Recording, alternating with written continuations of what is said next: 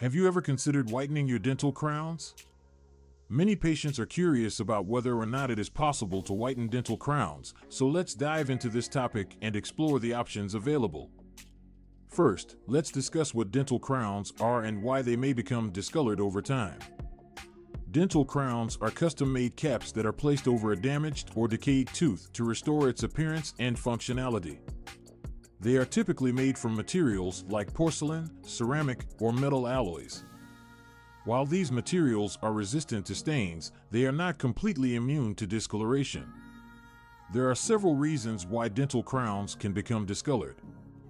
One common cause is the natural aging process, which can cause the materials to lose their brightness over time. Lifestyle factors like smoking, drinking coffee or tea, and consuming certain foods can also contribute to staining. Additionally, poor oral hygiene and improper care of dental crowns can lead to discoloration. Now, let's address the question at hand can dental crowns be whitened?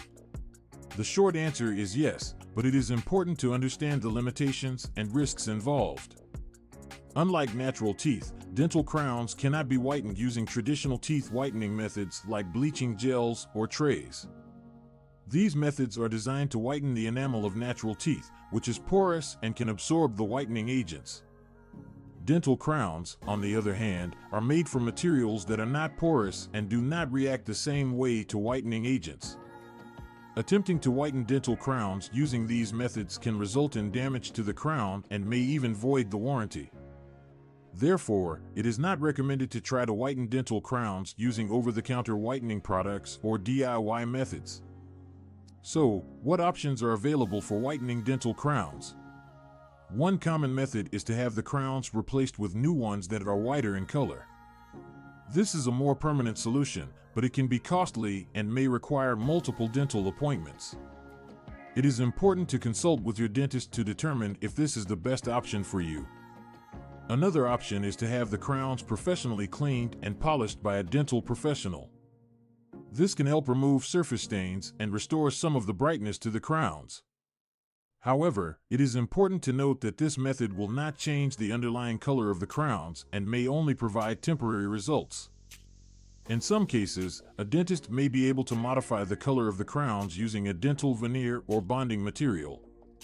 This involves applying a thin layer of material to the surface of the crowns to change their color. While this can be a less invasive option than replacing the crowns, it is important to note that it may not be suitable for all types of crowns and may not provide long-lasting results.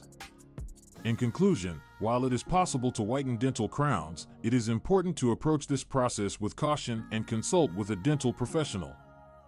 Attempting to whiten dental crowns using traditional methods can result in damage to the crowns and may not provide the desired results.